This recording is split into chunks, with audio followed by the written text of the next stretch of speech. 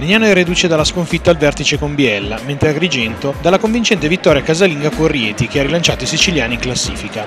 I soliti 2000 del Pala Euro Immobiliare gremiscono le tribune come successe nel marzo 2012, in occasione della Coppa Italia LNP che vide proprio Agrigento vittoriosa, unico ricorso storico tra le due società. La gara inizia con la stoppata di Mosley che gasa il pubblico, anche se per il primo canestro si deve attendere quasi due minuti con il libero di Raivio e il semigancio di Mosley, 12 punti, 9 rimbalzi, 2 stoppate, per il 3-0 Legnano.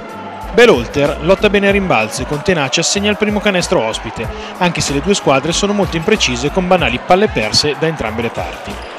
Frasinetti segna due triple in fila, inframmezzate dal canestro di Berolter per il 9-4 del quinto minuto. Legnano arriva sull'11-4 quando Evangelisti si guadagna liberi dell'11-6, ma campi invertiti e Mosley, molto cercato dai compagni anche perché Berolter con due falli non può essere sempre efficace defensivamente, a depositare ancora canestro prima della bomba di Ideoa che lancia Legnano per la prima volta in doppia cifra di vantaggio sul 16-6. Evangelisti commette un fallo su Martini dopo un recupero e prende anche un tecnico per proteste, cosa che frutta i Knights, un 2 su 3 dalla lunetta e un canestro da sotto di Navarini per il 22 a 8, punteggio dopo 10 minuti di gioco. Il secondo quarto lo riapre Bufford dalla lunetta, seguito da De Laurentiis che con un gioco da 3 punti riporta in scia Agrigento sul 22 a 13. Il parziale siciliano rimane aperto con il gioco da 3 punti di Bufford che viene chiuso da Martini 9 punti con il jumper dopo il timeout di Mattia Ferrari. Bufford 12 punti è in the zone e ogni pallone che tocca sono almeno 2 punti per i bianco-blu, ma Frasinetti ne mette 2 per il nuovo più 8 Legnano. Bucci 13 punti segna da sotto, ma Mosley inchioda una schiacciata a rimbalzo offensivo che fa saltare tutti i suoi propri seggiolini, per una gara che procede piacevolmente nonostante qualche imprecisione di troppo. Bucci infila tre liberi di fila, pareggiati la tripla di Frassineti, 15 punti e 4 assist, con il quarto che si chiude con la tripla di De Laurentiis, quella di Raivio e il jump di Bufford per il 36 a 30 dell'intervallo.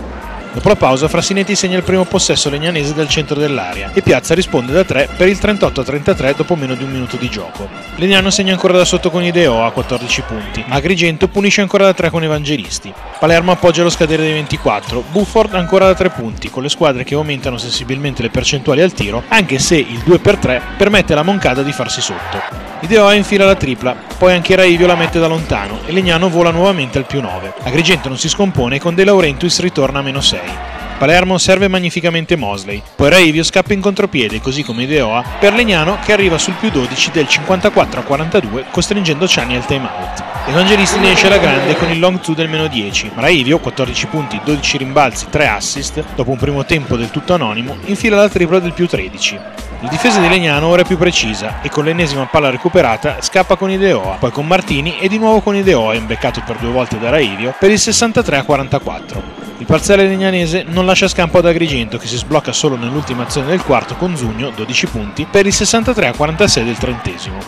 De Laurentiis, 11 punti, segna dai libri i primi punti del quarto per Agrigento, mentre Sacchettini lotta a rimbalzo e centra i primi di Legnano da vicino.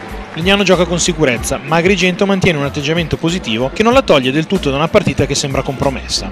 Zugno segna la bomba, Frassinetti il libero e le due squadre entrano negli ultimi 5 minuti sul 68-58.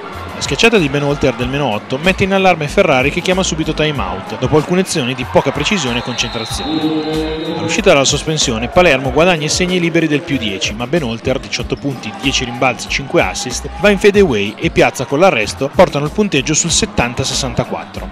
Bucci tiene aperto il parziale siciliano di 6-0 che, grazie a un suo contropiede, diventa di 8-0 per il 70-68 che riapre del tutto la partita. Legnano rientra da un minuto di sospensione con due errori, mentre Agrigento segna i liberi con Bucci del pareggio sul 70 pari a un minuto esatto dalla fine della gara.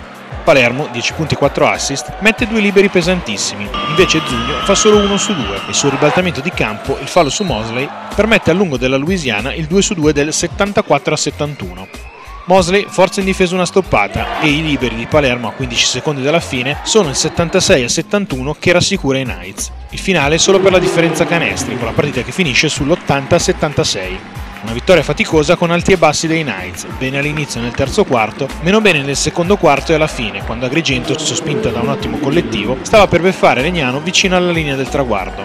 La contemporanea sconfitta di Biella permette ai Knights l'aggancio in vetta che torna ad essere un affare a due.